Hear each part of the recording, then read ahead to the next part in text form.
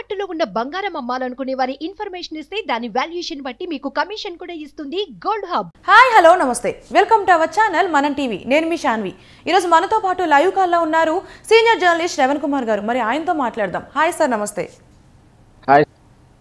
Sir ఇప్పుడు చూసుకుంటే ఒకప్పుడు రెండు వేల మూడులో చంద్రబాబు నాయుడు గారు ఎనిమిది వందల యాభై ఎకరాల వరకు ఐఎంజీ భారత్ అనే ఒక అనామిక కంపెనీకి అప్పగించారు అని అప్పట్లో ది తెలంగాణ హైకోర్టులో కేసు కూడా నడిచింది. మరి ఇప్పుడు తెలంగాణ హైకోర్టు దాని మీద ఆదేశాలు జారీ చేసింది. అసలు ఏమి రిజల్ట్ ఇచ్చింది? అలాగే ఇప్పుడు ఎలక్షన్స్ కూడా దగ్గర పడుతుండటంతో ఈ ఈ ఇష్యూ అయితే ఏదైతే ఉందో అది ఆయన మీద పొలిటికల్గా ఎఫెక్ట్ అయ్యే ఛాన్స్ ఏమన్నా ఉందంటారా? మేడం ఖచ్చితంగా ఎఫెక్ట్ ఉంటుంది.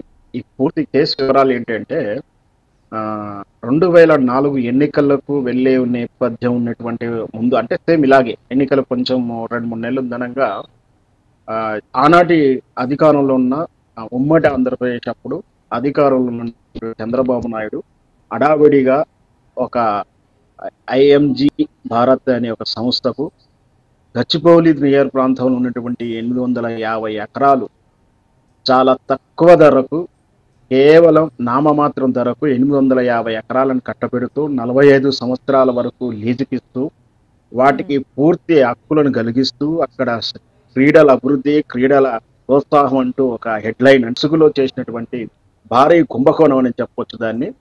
అయితే దురదృష్టవశాత్తు ఏది చంద్రబాబు నాయుడుకు దురదృష్టవశాత్తు వెంటనే మళ్ళీ ప్రభుత్వంలో ఓడిపోవడం వల్ల పార్టీ అధికారం రాకపోవడం వల్ల ఈ ప్రభు ప్రజాధనమైనటువంటి ఎనిమిది వందల యాభై ఎకరాలు కానీ ఆ తర్వాత స్కామ్ తెరలేపినటువంటి వెయ్యి కోట్ల రూపాయల కానీ ప్రజలకు మిగిలిందని చెప్పొచ్చు. ఒకవేళ అదే చంద్రబాబు నాయుడు అధికారంలోకి వచ్చి ఉంటే అది పెద్ద స్కామ్గా మారిపోయేది. ప్రజల ఆస్తి మొత్తం కూడా ప్రైవేట్ వ్యక్తులకు దారతత్వం చేసిన విధానం. చంద్రబాబు నాయుడు గారు ఏది చేసినా కూడా ఇట్లా ముసుగులో సేవా దృక్పథం ప్రోత్సాహం అంటూ పేర్లు పెట్టేసి తమ అనుంగ మిత్రులకు తన ఆ శ్రేయోభిలాషులకు ప్రభుత్వ ఆస్తులను ఏ విధంగా కట్టబెట్టాడో వరుసగా చూస్తూనే ఉన్నాం. ఇది చంద్రబాబు నాయుడు నిన్న మొన్న మనం కొన్ని కేసులు చూసినాం అది ఆంధ్రప్రదేశ్లో విభజన ఆంధ్రప్రదేశ్లో జరిగిన కేసు. దాని మూలాలు కానీ దాని యొక్క తర్ఫీద్ అంటే ముందే ట్రైనింగ్ అట్లాంటి స్కామ్లు కూడా ఉమ్మడి ఆంధ్రప్రదేశ్లో కూడా చేసినటువంటి చంద్రబాబు నాయుడు అవి సేమ్ అలాంటివి ఇక్కడ కూడా ఇప్పుడు అది బిల్లి రావన్న తన స్నేహితుడికి ఎనిమిది వందల యాభై ఎకరాల భూమిని లీజు స్టేడియాల నిర్వహణని కట్టబెట్టినట్టు విధానం. అయితే ఎన్నికల్లో దూషవశాత్తు ఆయన ఓడిపోవడంతో వెంటనే వైఎస్ రాజశేఖర రెడ్డి కాంగ్రెస్ ప్రభుత్వం అధికారం రావడంతో కాంగ్రెస్ వైఎస్ రాజశేఖర రెడ్డి గారు ఆ రోజు ఆ నిర్ణయాన్ని అంటే బిల్లీరావు గారికి కేటాయించినటువంటి భూముల కేటాయింపుని రద్దు చేస్తూ పూర్తి స్థాయిలో రద్దు చేస్తూ జీవో తీసుకురావడం జరిగింది. ఇలా వైఎస్ రాజశేఖర రెడ్డి గారి చంద్రబాబు నిర్ణయాన్ని కొట్టివేయడాన్ని సవాల్ చేస్తూ ఇక్కడ కన్జ్యూమర్ అంటే ఇక్కడ బెనిఫిషరీస్ అయినటువంటి బిల్లీరావు ఆ రోజు కోర్టును ఆశ్రయించడం జరిగింది.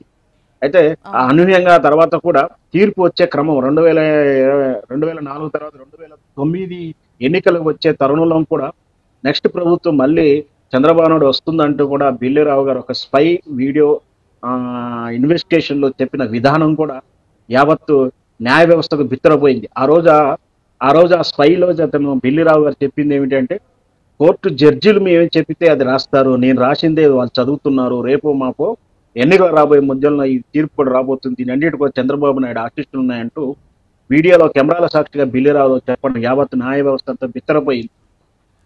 అంటే ఇంత మేనేజ్మెంట్ చేస్తున్న చంద్రబాబు నాయుడు ఏ విధంగా స్కామ్లకు దారి తీస్తున్నాడు స్కామ్ల విధానం ఏంటి? చంద్రబాబు నాయుడుకి ఈ స్కామ్లకు ఎవరెవరు వెనుకనున్నాడో ఆయన ఎందుకంటే తీర్పులన్నీ కూడా మాకు అనుకూలంగా వస్తాయంటూ కూడా ఆయన ఇచ్చినటువంటి అస- అసంబద్ధమైన వాక్యం కూడా నిజంగా కూడా చంద్రబాబు నాయుడు తీరుని కూడా మనం అర్థం చేసుకున్నాం ఆ రోజు. అదృశ్యవశాత్తు ఈ రోజు ఎలాంటి ఇన్ఫ్లుయెన్స్ లేకుండా న్యాయ న్యాయపరంగా జరగాల్సినటువంటి వ్యవస్థ ప్రాసెస్ అంతా జరిగిన తర్వాత బిల్లీరావు గారు వేసినటువంటి పిటిషన్ ఏదైతే చంద్రబాబు నాయుడు కేటాయిస్తూ ఇచ్చినటువంటి ఆ హక్కులన్నీ కూడా తిరిగి నాకు రావాలంటే వేసిన పిటిషన్ హైకోర్టు కొట్టివేస్తూ ఈ ఈ ఈ కేటాయింపులన్నీ కూడా న్యాయబద్ధంగా లేవంటూ విచారణకు ఆదేశించాలి. ఆ రోజు సిఐడికి ఆదేశించమన్నా కూడా సిబిసిఐడి వాళ్ళకి ఇచ్చినా కూడా ఆనాటి ఉన్నటువంటి ఉన్నతాధికారి లక్ష్మీనారాయణ గారు జేడి గారు మాకు సరి అయినటువంటి ఎంప్లాయీ సిబ్బంది లేరంటే కూడా దాటవేసి చంద్రబాబు నాయుడు ఏ విధంగా సహకరించాడో కూడా అర్థం చేస్తుంది ఆ విషయాలన్నీ కూడా దృష్టిలో పెట్టుకొని ఈరోజు తెలంగాణ హైకోర్టు ఈ అంటే బెల్లిరావు కేటాయింపును కొట్టివేస్తూ ఈ విధంగా నిర్ణయం తీసుకున్నట్టు ఆనాటి ఆ, ప్రభుత్వ విధానాన్ని మీద విచారణ జరపాలంటూ కూడా హైకోర్టు సూచించింది. ఒకవేళ సిఐడి కానీ సిబిఐ సంస్థలు కానీ ఎంక్వైరీ చేయకపోతే తదుపరి మేమే రంగంలో దిగుతామంటూ కూడా సూచన చేయడం అంటే ఖచ్చితంగా ఇది ఒక వేల కోట్ల రూపాయలు ఉన్నటువంటి స్కామ్ అని ఆ న్యాయ వ్యవస్థ గుర్తించింది. ఖచ్చితంగా ఈ రేపు రెండు వేల ఇరవై నాలుగు ఏప్రిల్ మాసంలో జరగబోతున్న ఎన్నికల దృష్ట్యా ఇది చంద్రబాబు నాయుడుకి చెంపపెట్టుగానే చెప్పవచ్చు చంద్రబాబు నాయుడు మరో అవినీతి నిరూపణ ఇప్పుడు కోర్టు రూపంలో మనం చూడొచ్చు. సో ఇప్పుడు చూసుకుంటే చంద్రబాబు నాయుడు గారి స్కామ్ స్కాములు ఎలక్షన్స్ ముందు ఒకటి తర్వాత ఒకటి కనిపిస్తున్నాయి. ఒకప్పుడు స్కిల్ డెవలప్మెంట్ స్కామ్ అని చెప్పి తర్వాత చాలా స్కామ్లు వచ్చాయి. మళ్ళీ ఇప్పుడు ఈ స్కామ్. ఈ వన్ ఈ స్కామ్లు అన్నిటి వెనుక ఎవరన్నా ఉన్నారా? వైసీపీ వాళ్ళు ఏమైనా కావాలని అవన్నీ బయట పెడుతున్నారా? వాస్తవానికి దీన్ని సున్నితమైన అంశం మీరు చెప్పే అంశాన్ని వాస్తవానికి దానికి రివర్స్గా ఆలోచించుకుంటే ఎక్కడైనా విచారణ కోసం మన ఫిర్యాదు చేసినప్పుడు ఫిర్యాదుని విచారణ చేస్తూ క్రమంగా దాని స్టెప్ బై స్టెప్ దర్యాప్తు కొనసాగి తీర్పు రావాల్సి ఉంటుంది. కానీ చంద్రబాబు నాయుడు తనకున్నటువంటి అంగబలం ఆర్థిక బలం తన ఆ, సామాజిక బలాలతోటి కొన్ని ఫిర్యాదులను ఎలా నేరుగారుస్తున్నారు మరి తెలియజేయచ్చు. నేను నిజంగా నిన్న కాక మొన్న కూడా ఇప్పుడు ఈ కేసులో కూడా జేడి లక్ష్మీనారాయణ గారు ఉన్నతాధికారులతో తమకు సరైన సిబ్బంది లేడంటూ చంద్రబాబు నాయుడు కేసును పక్కకు పెట్టిన విధానాన్ని కూడా చూస్తున్నాం. అంటే ఇక్కడ కేసు విచారణ జరగకపోవడం అని ఇంట్రెస్ట్ ఉంది కానీ విచారణ జరుగుతూ తీర్పులు రావడం అనేది దాని వెనకే రాజకీయ కోణం లేదని అర్థం చేసుకోవచ్చు.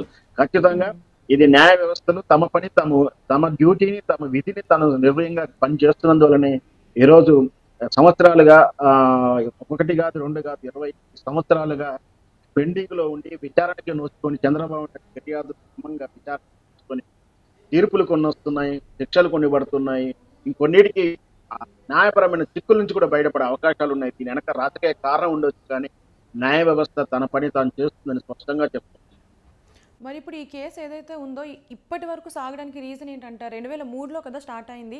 ఇప్పుడు చూసుకుంటే రెండు వేల ఇరవై నాలుగు.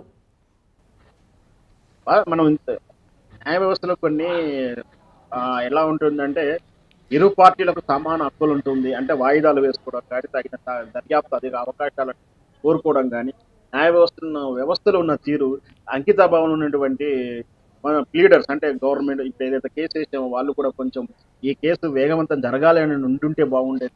కానీ చంద్రబాబు నాయుడు విధానం మనకు తెలుసు. ఏ విధంగా నాట్ బిఫోర్ అనో లేకపోతే రకరకాల క్లాసులు ముందుకు తీసుకొచ్చి కేసులు ముందుకు పోకుండా అడ్డుపడేటువంటి విధానం మొదటి నుంచి కూడా చూస్తూనే ఉన్నాం. అలా ఇన్ఫ్లుయెన్స్ చేయడంలో కొంత డిలే అయిందో కానీ చివరికి మాత్రం న్యాయం తన పని తాను చే న్యాయ వ్యవస్థ తన పని తాను చేసుకుంటూ వెళ్తుంది. సో ఇప్పుడు చూసుకుంటే ఈ కేసు విషయంలో ఎనిమిది వందల యాభై ఎకరాలు ఏదైతే ఉందో ఇది వచ్చేసి తెలంగాణలో ఉంది.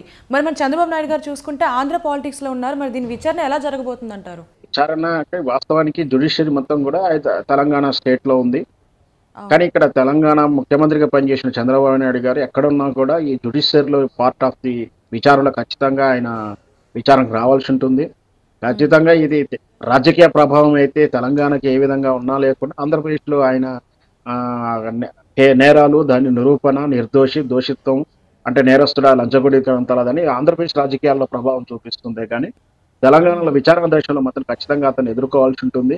అయితే ఇక్కడ మళ్ళీ గతంలో ఇక్కడ వైఎస్ రాజశేఖర రెడ్డికి కాంగ్రెస్ ప్రభుత్వం ఉన్నప్పుడు అతని మీద విచారణలు అన్నీ కూడా న్యాయబద్ధంగానే జరిగినాయి. ఇప్పుడు మరి ఆయనకి అనుకూలమైనటువంటి రేవంత్ రెడ్డి గారి ఆయన శిష్యుడు అయినటువంటి ముఖ్యమంత్రిగా ఉన్నాడు కాబట్టి ఆయన ఇన్ఫ్లుయెన్స్ చేయకుండా చట్టం దాని పని తాను చేసుకుంటూ పోతే విచారణ కొనసాగుతూ ఉంటుంది. మరి అది ఏ విధమైన నిర్ణయం తీసుకున్నారు ఇక్కడ ఏం జరగబోతుంది? ఎందుకంటే రేవంత్ రెడ్డి గారు ఇక్కడ చంద్రబాబు నాయుడు గారికి ఒక బినామీ అని అతని శిష్యుడు అని చెప్పి అందరు బహిరంగ రహస్యమే అట్లాంటి విషయంలో ఈ కోర్టు ఈ కోర్టుల విషయంలో తను ఎంతవరకు న్యాయం చేకూర్చగలుగుతాడు? విచారణకు సహకరిస్తాడా? విచారణను మరి రేవంత్ రెడ్డి అడ్డం పెట్టేసి కొనసాగించేసి తనని ఏమన్నా అడదోకులు సృష్టిస్తాడా? ఏం చేస్తుంది అనేది రాజకీయ దృక్ దృక్పథం దీంట్లో ఎలా ఉండబోతుందని మనం వేచి చూడాల్సిందే అండి. మొత్తం. చంద్రబాబు నాయుడికి ఎన్నికల ముందు తీర్పు చాలా తలనొప్పిగా తయారు కావాలి థ్యాంక్ యూ సార్